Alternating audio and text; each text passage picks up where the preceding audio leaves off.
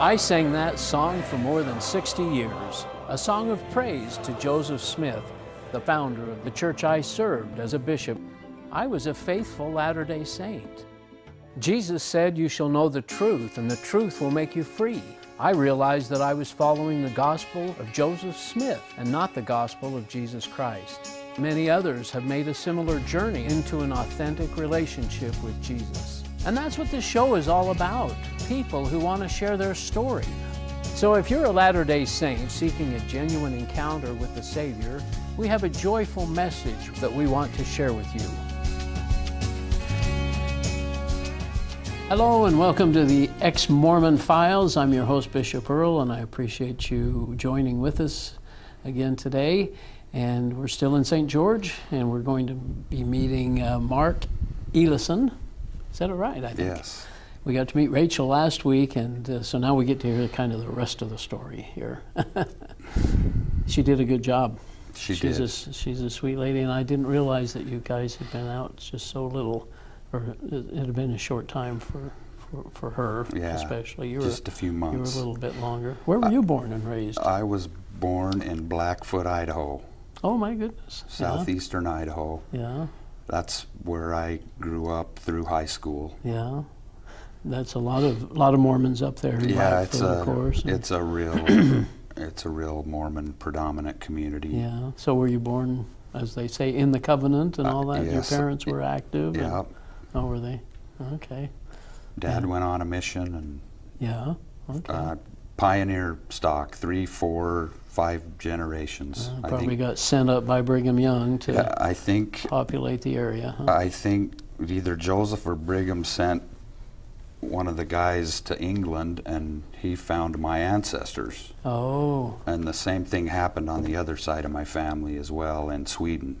and they came over And here. they came and over here to join the Mormon up in. church and they ended up in Utah and Idaho. And Wow. Okay. Well, and there's a sense of pride with that, isn't there? I mean, You that bet. pioneer heritage and all that. I, yeah, I had that same thing. So you you went to school there, and you kind of, uh, I mean, you were active, I guess. Got baptized there, and yes, all that stuff. yeah. Grew Yeah. up in doing Cub Scouts and Boy Scouts Yeah. and priesthood and Yeah. I was the the deacon's quorum president and the teacher's quorum president and the first Okay. assistant to the bishop Oh, and the priest quorum. All the way through. of huh? course, my you know my class was sometimes three, four kids. So Sure. Well, it There wasn't a lot to choose from. depends on the ward there, but yeah. and they rotate a little bit, so you get a, an I- opportunity to serve. But I think in, Yeah. it's a good training that we It is felt like we were giving the kids, or we got as, as Yeah. young people. So, leadership training. Nothing Yeah. wrong with that. Yeah. Did you take seminary? Did you in I high did. school? And Yeah, didn't graduate. Didn't you? No.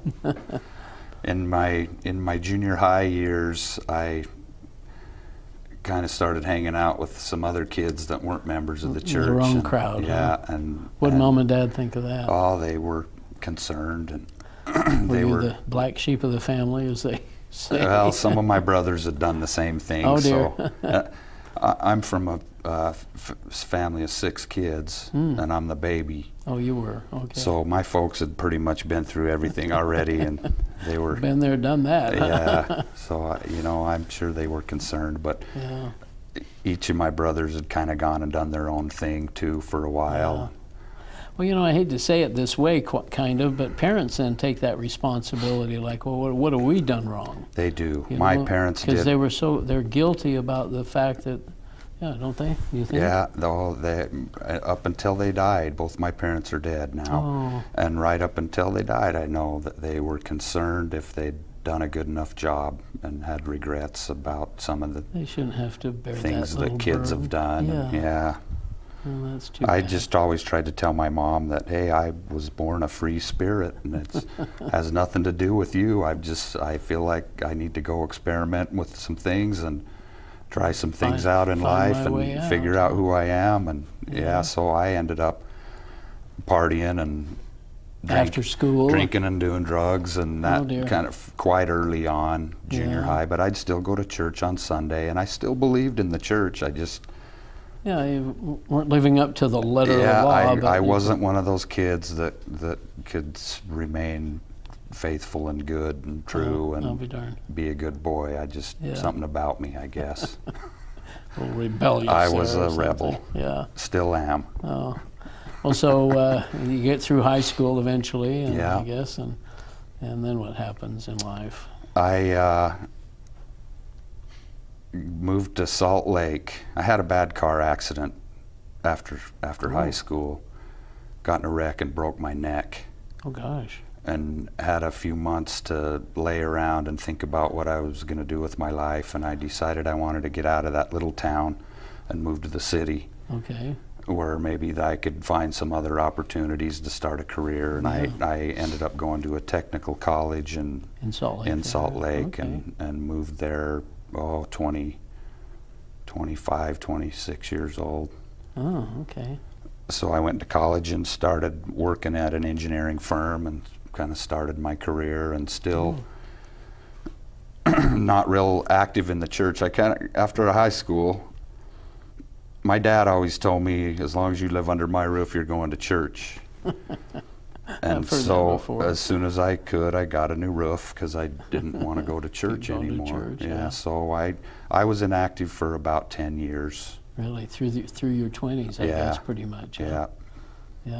And you did you just well when things settle down, I'll eventually get back to the church. I, I always in the knew. back of your mind. that- always, because everybody that I knew growing up, including all of my family, they all bore witness to me that the church was true, and I heard it over and over and Oh, really? over again yeah. On fast and testimony meeting, and all of the leaders in my community and the successful businessmen and pretty much everybody that Yeah. I knew that was an adult that was respected, they were LDS. So I just naturally assumed that it, this is the way and the only way. Yeah. I just Didn't even know that knew that there was any other option. yeah, But and I just felt like a like a bad kid because I I didn't want to live it, but I still knew it was true. You know, yeah, but I, can't. know. I've met so many. I mean, uh. You know, you're on the rolls as inactive. Yeah. And and we keep track of people like that that are members that are inactive, and you pray for them, and you send out home teachers. Did you ever get home teachers sent to you? You bet. Yeah. Trying to My mom would send my records around behind me wherever I'd move. She'd make yeah, sure that's that a pretty that- common thing. Make sure that the bishop knows that you're there. Yeah. and- yeah. Just in case you hear something that's going to bring you back. Yeah. So ten years go by, and just kind of, you're working, I guess, and just Yeah. going in life now. Uh, Rachel, I guess at this point was going to the, the singles wards, Mm-hmm. right? Uh, As far as you knew, I mean, you didn't know her at this Yeah. point, but so what happens, or how do things go after? to to meet her. After well, after t- after your ten years, or well, what I after that? I ended up uh, struggling with alcoholism and drug addiction for a number of years. oh dear. Played in I played in some punk rock bands and just kind of lived that lifestyle and uh, having fun and Yeah. being out in the world, you know, and, and I got in a lot of trouble and got a few DUIs and, and dear. one day I just decided I've got to do something different. I Yeah. can't do this is going to kill me. Yeah. And and so I decided it was time to go back to church. I've got to get back to church. I knew I knew I was missing something. And I'd finally had enough of the partying and carrying on that it was getting old and it was starting to scare me that it was going to ruin my whole some life. I had a good career. I was able to keep a job Oh, and, were you and I actually this- started a, my own business Yeah. even and was doing that through running my own Through business oh, the through rough through some of the worst of it. Yeah, and finally one day I decided I don't want to lose all this. Yeah. I've got to straighten up. Good for So you. first I went and found some help for my alcoholism, and then and and that's a program that's based on finding God. Is you this know? AA? Yeah. Right, yeah. And and that kind of got me thinking again, and kind of made me realize, Now, well, I know, I'm sorry. Go ahead. I know God. Yeah, I was going to ask if it was a generic God or a Mormon well, God. Well, the AA says a God of your understanding. or a higher But throw power. away that God that Yeah. that has punished you for being a bad boy and the one that hates you because you're not good enough and find a God that loves you and wants to help you. That was kind of the message that I got Wow. at AA. Yeah. And so I said, "Well, I I know God. I'm you know, I'm a Mormon. I know who God is, and that's a great advantage. And so as I connected those two, I decided it was time to go back to church, and I went back and, and started my repentance process and got active again and started going as a as a single Oh, okay. guy in my late 20s, early 30s. Uh-huh. Went to a family ward because I didn't. I tried the singles ward a couple of times and it just didn't work for me. Yeah, okay. So I just went to my local ward. Yeah. And then what happens? we, uh, I was dating and, you know, I working hard, a lot of hours running my own business and didn't wondered where am I ever going to meet yeah. a girl. All right. And I figured it would probably have to be through my work somehow because that's all I ever did. and Okay. I got to thinking, and boy, I need to quit smoking because I don't think I'm gonna. I, I wanted to marry a Mormon girl And because I knew that was the right. Yeah, I did, Yeah, and so I thought, well, I'm gonna quit smoking. I'm gonna quit Smoking. smoking and see if maybe whole the life Lord will help me, yeah. huh, so to speak. So I did, and and shortly after, well, I think I met my wife actually while I was still smoking, and I decided to quit after I met her, and we started to get to know each other. Yeah. We just kind of became friends. She worked for one of my clients. We Oh. became friends, and then we started talking more on the phone, and Yeah. s- then we started dating, and next thing you know, we planned it. Time about getting married. huh? Yeah, we Yeah. planned a four-month engagement and got married. Oh, I'm proud of you. You were able to actually quit smoking, though. Yeah. And was that cold turkey, or is it?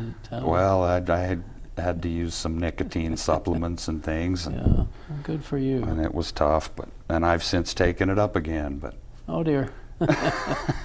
so four months with uh, knowing Rachel, and you just knew she was, and she was LDS. yeah, Yeah. So that fit, and you felt good about that, and get, get married. yeah, we had a lot of things that happened right when we started to get to know each other that just clicked, and little signs that we were supposed to be together, and just Yeah. we just had some some confirmation, Oh. you know, that that we knew it was right, and it was.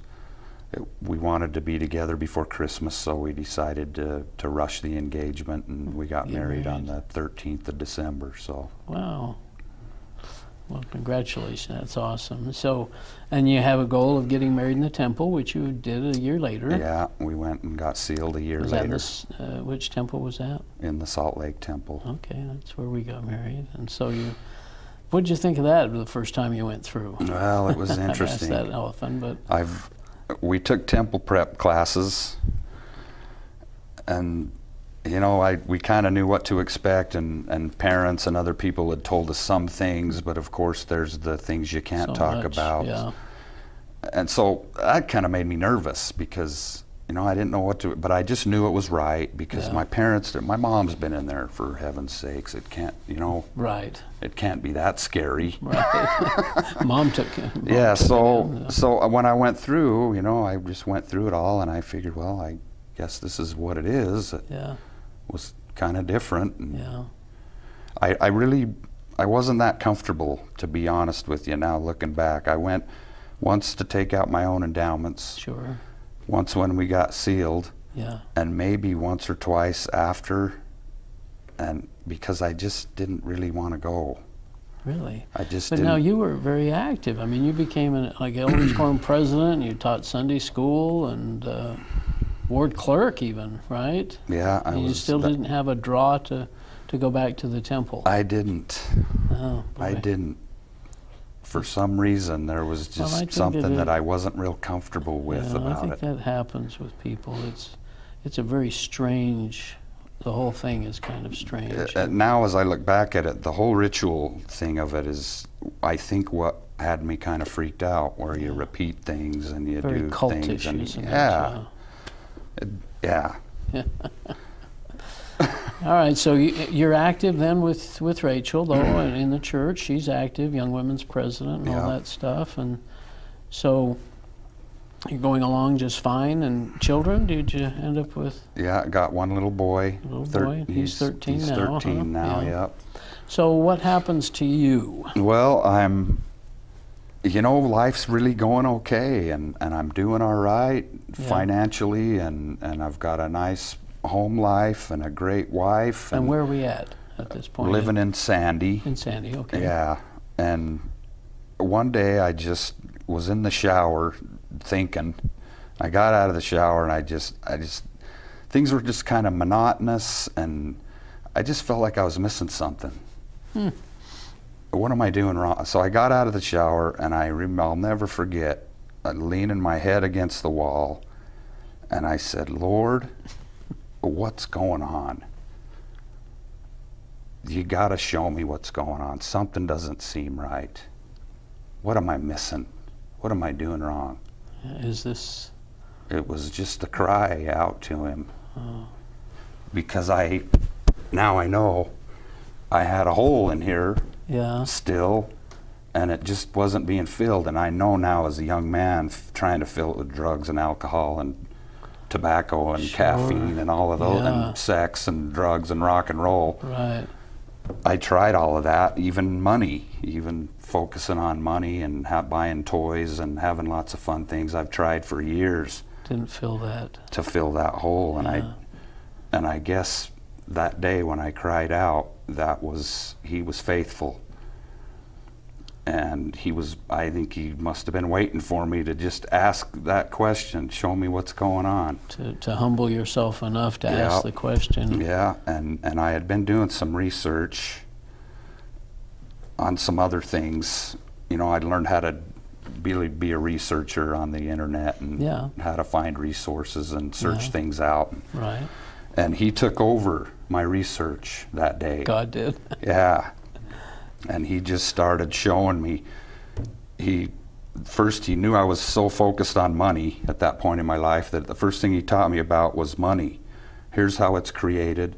Here's how the governments use it. When you loan $100 to the bank, they loan $1,000 on it. It's called fractional reserve banking. he taught me how the whole thing is just it's it's smoke and mirrors and then he showed me governments of the world and through history how how much crooked nonsense and lies and cheating and stealing goes on. Yeah. at the highest levels of the of the governments Wow. and ju- I just started saying wow nothing is what it seems I started seeing all of this confusion and lies and deceit and dishonesty in the world and one day when I was going through that up popped a video for me to watch next that says do you really know the truth about the death of Joseph Smith and I said wow that's interesting I'm going to watch that What did you What did you know at that point? I well, mean, that he was a martyr, Yeah, that he died. And he Carthage died for and- his faith in the church Right, and, and yeah. a righteous man. And Yeah. so I I start looking at this video, and I hear a whole different story. the, uh, the, he they'd run him out of town because he started a bank and lost some of their money. Yeah. He was having relations with some of the he was taking some of the guys' wives. He was marrying people's wives and daughters and you know, I'd never heard that. You know, I don't said, teach that in church. No, I said, What's going on? This is a lie.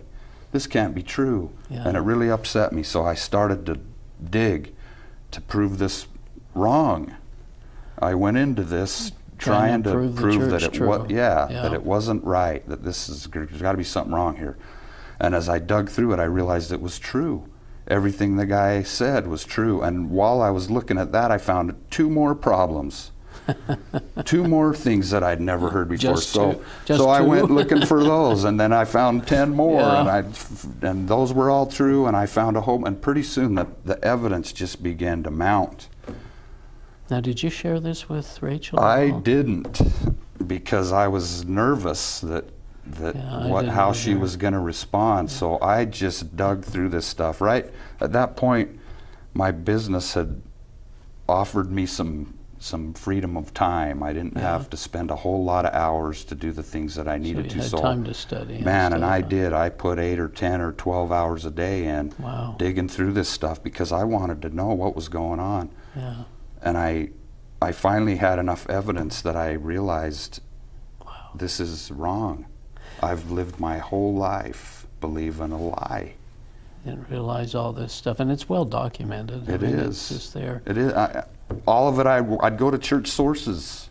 That's where I'd find right. the lies, the well, problems. Now, you didn't share it with Rachel. Would you do anything differently now that you look back on, on the sharing process either Rachel or other family, friends? Would you have brought her in earlier with it, or? I don't know. Yeah, it's worked I, out for the best, certainly. The I would God bring, wanted it to. Yeah, I would bring things up, yeah. and I'd mention things, and uh, the reaction I got wasn't too good, so I'd back off. Back off. And this went on for a couple of years, it sounded like, right? Yeah. Yeah. And I just, I started pushing more towards the end because I kept learning, I kept researching, and I finally. And you keep sharing with her. Yeah, and I, and meanwhile I was I was studying the Bible. See, this is what else I learned. When I figured out that there was a bunch of lies in Mormonisms, I started looking at all these other religions, mm. I, and I and I found out well, this one teaches this about Jesus. And this one over here, he's an ascended master and a great teacher. and this one over here, he's another prophet. Yeah. And and in the Mormon church, he's my elder brother yeah. and the brother of Lucifer. Right. But in the Bible, he's God. He's God. He's the one who created all of this. The Bible says that yeah. nothing was created without him or through him. Did you trust the Bible at that point? I I didn't know for sure if I could, so a friend of mine who had been through this 20 years earlier challenged me. He said, "Go figure out if you can trust the Bible." So I started researching the Bible. And I found out that there is multiple thousands of manuscripts that they've found that they can show that were written before Jesus was even here, that the words are all the same in the book that we have today. Certainly, the Dead Sea Scrolls. The Dead Sea the, uh, Scrolls. Uh, the Old Testament, it, for sure. It does, and there's 26 some odd thousand manuscript fragments of the New Testament, more than any other book in the history of man. There is more evidence for the New Testament that than the Bible, any other book. The Bible we have now is yeah, trustworthy. and you can, yeah. and there's actually people now who can read it I don't know if anyone can read Reformed Egyptian or not yet. but I know that but I know that people can read Greek and Hebrew and right. they, and you can actually with the tools we have today you can go and see what the word original word is. Yeah. You know I was always told that it's been translated wrong. It's translated well, and that people had taken it and translated, yeah. and let, taken out precious yeah. truths. That was a stuff. that was a, a prophecy given in the Book of Mormon. Yeah. Oh yeah. That that after the original apostles died, that many plain and precious parts would be taken from the Bible by evil right. men, designing men, designing yeah. men. Yeah. uh, but when the Dead Sea Scrolls came out, it proved all that wrong. Oops. That's a false prophecy in the Book of Mormon, and I had yeah. somebody had pointed out to me that there's a there's a verse in the Bible in Deuteronomy that says that if a prophet claims to be a prophet and he says something in the name of the Lord and that thing doesn't come to pass, that man is a false prophet. Don't follow him. Yeah. And I saw one in the Book of Mormon. Yeah. And then I started studying Joseph Smith's prophecies and I found that he gave a whole bunch that didn't come true either. Yeah. So I was faced with a choice. Mm-hmm. Do I trust Joseph Smith and his gospel? Yeah. Or do I trust the Bible and Jesus Christ? And that's what it came down to when I saw the differences. And I looked out in the world and saw all those other definitions of Jesus too. Yeah. And I said, they can't all be the same. He's either who he says he is in the Bible or he's one of these other things, but they can't all be right. And and you now trust Jesus. Absolutely. So it uh, I've I found out actually through my study of the Bible that you can prove that it's true. Yeah.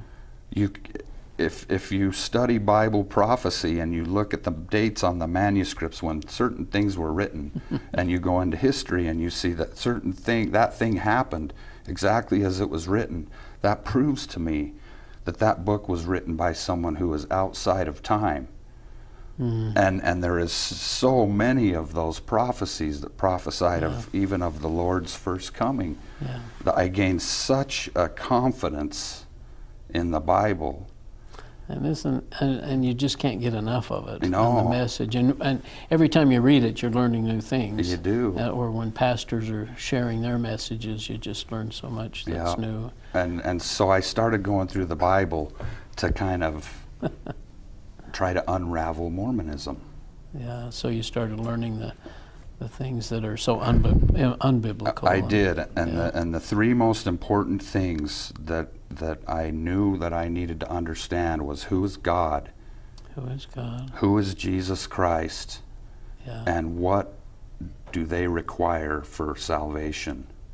And as I began to compare the biblical message of who God is and who His Son Jesus is, and what to do for salvation with the Mormon Church's version, they were different. Very different, aren't they? They were.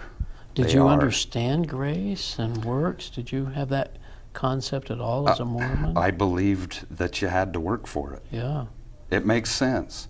The world teaches you that. When you're Yeah. a little kid, you grow. You have to work to get your good grades. You got to work to make Right. a paycheck.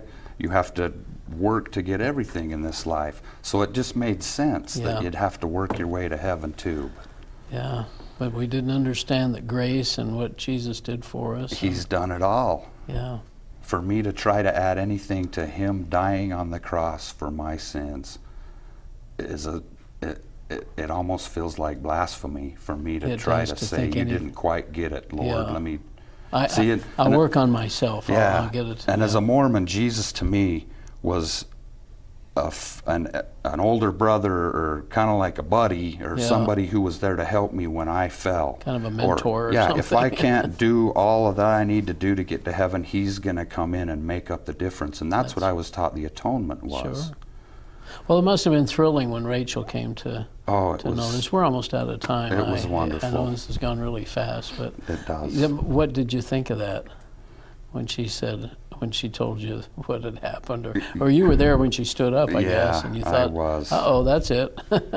You know, I I prayed. I was praying for her the whole time. sure. and and pretty early on the lord just made me feel like she's mine just don't worry just be patient. Yeah. She'll come. she will What so a blessing. so i just did what i could do and showed her what i could show her and hoped to shake her faith and, And what i knew to be a lie and the lord stepped in and Touched her heart. yeah Oh, what a joyful message that is to come to know Jesus together, and and now you share that uh, freedom and that liberty, and so. Well, gosh, thanks for coming and sharing your story. I really you. appreciate it, and gosh, uh, it's awesome. You're a, a good man, and I'm glad that things have worked out for you Well, so you. well, and that you're together with your dear wife.